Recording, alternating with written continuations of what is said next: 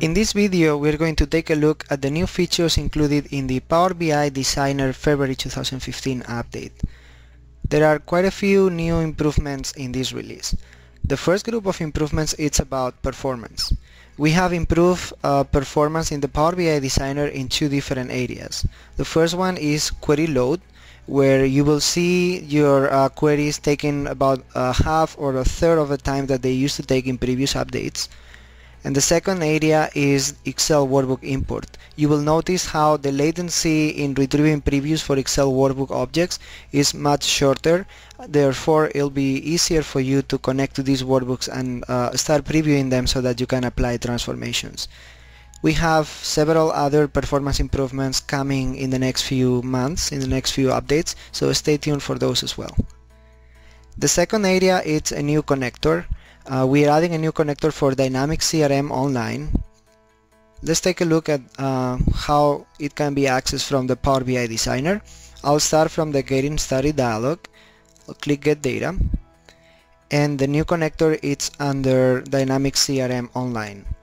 Alternatively, you can also search for it and it will just show it in the list on the right. Once we specify that we would like to connect to Dynamics CRM Online, we are presented with the following dialog uh, where there's a couple of things that are uh, interesting to call out.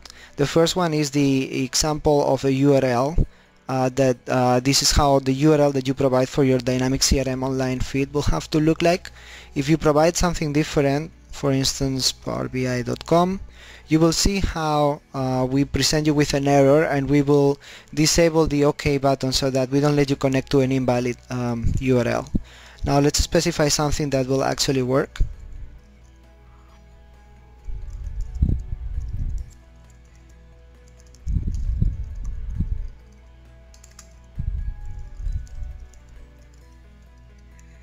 You see how in this case I don't get any error indication, so I'm good to go. I'll click OK. The next thing we need to specify are the credentials to connect to our dynamic CRM instance.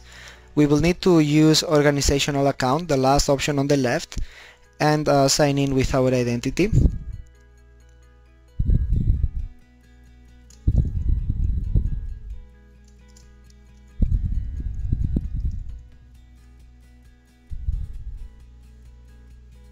After we're signed in, we can click connect and now um, the Power BI designer will connect to CRM and it will start retrieving all of the tables and entities that are available to us so that we can start importing data and building our reports.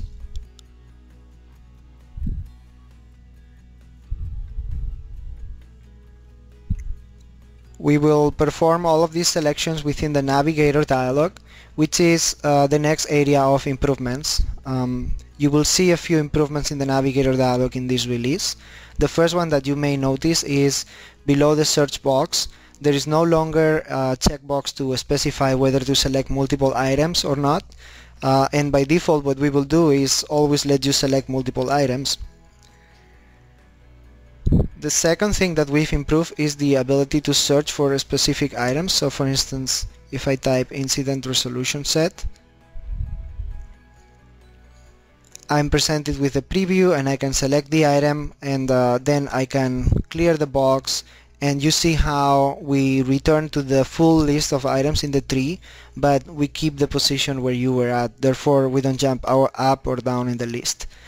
Now the next improvement that you can see in the Navigator dialog are these two tabs for Show All and Show Selected which will downsize the list to the specific items that I've selected and this will move us away from using a selection well as uh, we used to have at the bottom left corner of the Navigator. This new layout improves or increases the amount of items that we can show on the left side uh, for multi-selection mode because we don't need to no longer show an area at the bottom left uh, for the selection well. And um, alright, so now that I've selected this table, I'm going to go ahead and click Edit Query. Uh, this will load the table into the query view. It will load the preview of this table into the query view. And uh, here I can apply transformations just as if it was any other uh, data source in Power BI Designer. So for instance, let's go ahead and pick a few columns. Let's pick activity ID. Uh, let's pick description and let's also pick um, activity parties. Now we can uh, remove other columns. Let's go ahead and move the activity ID to the far right to the end of the table. Alright, so now we're ready to take a look at the next uh, group of improvements in this release. Uh, number 4 here on the list. We've added a couple new transformations. Uh, the first group are two new transformations for date time columns uh, which will let us calculate the age and also do subtraction between those two date time columns. Let's start with the date. For instance, we can select created on for each of these incidents and we can uh, go into add column. We go under date and you see how we find the first option being age.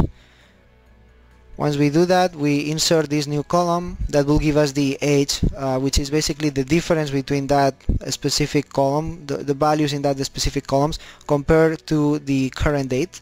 And of course, this will recalculate as you uh, refresh your query, so the, the notion of now will always be kept up to date. Now we can transform this uh, because it's a duration. We can turn this, for instance, into uh, the number of days you see how the average age is about 453 days. It's uh, over a year old, each of these incidents. Now the second type of transformation is uh, date subtraction. So in this case I can select modified and created dates and uh, within add column I could select date subtract. This will calculate the difference between them uh, and we can of course turn this into something like uh, total hours. So we'll see how we took uh, sometime between 26 hours and 103 hours to respond to each of these incidents. Now the last transformation that we introduce in this update is the ability to uh, control whether to use a column name prefix or not for new columns in aggregate. Um, so if I go into the expand and aggregate menu you will see that within expand we have this option to use original column name as prefix. This has been there for a few uh, months uh, but what we just added is the same option for aggregate. So for instance if I pick count of party ID and I keep this uh, column name prefix which is the default behavior in previous updates. You would get something like this new column name count of and then we use uh, the old name column incident resolution activity parties as the prefix. Uh, however if you were to use this new option that we provided in this update to disable the prefix you will see how the name is now just count of party ID uh, this will definitely make it easier for you to control the name without having to manually rename these columns and with that we are ready to transition into the report view. Um, and this will be the place where we will show the last few uh, remaining new features in this update. You'll see how we've done a few improvements to the field list and also uh, improvements to the navigation uh, or to the uh, the way you navigate uh, within the pages in the left pane Within the field list we've done a few things. The first one is the ability to expand collapse tables and the ability to hide and uh, unhide uh, fields within the field list and we've also done some uh, optimization of the layout in terms of the margins and spacing and fonts. So let's go back to the designer and take a look. Uh, my query just finished loading. Uh, so the first one as I was mentioning was the ability to expand and collapse uh, the table nodes. This is very helpful when you're working with several tables as it will help you navigate easier. Now the second one is the ability to hide each of the fields uh, within the field list. So for instance I'm going to hide created on and I could also hide subject. Now this will make it easier for me to just reduce the number of items that I'm looking at and these might be fields that I am using within my report but I don't want to have visible all the time so I could hide them and I also have the ability to view hidden fields. This is a, a setting. And you see how the hidden fields are kind of uh, in a lighter gray color. And of course I can then unhide them individually or I could also do unhide all to show them all back uh, by default. Now the other area of improvements as I was mentioning was the ability to use keyboard shortcuts for navigating new pages or for navigating pages. So not just uh, arrow down or arrow up as I'm doing right now but also page down and page up and uh, finally we also support pressing the end key to go to the last slide and pressing the home key to go back to the first slide Finally, we have also performed uh, lots of bug fixes and uh, we fixed a lot of issues that you reported to us via frowns. Um, we would like to thank you for all of your feedback on our preview and uh, ask you to continue sending it over. It's really valuable for us, not just for um, bug fixes and uh, quality improvements, but also because it will help us understand better what different features you would need uh, and uh, that will help us drive our priorities. Uh, we hope that you enjoy a lot this Power BI Designer update from February and uh, please uh, keep your feedback coming and stay tuned for future updates in the upcoming months.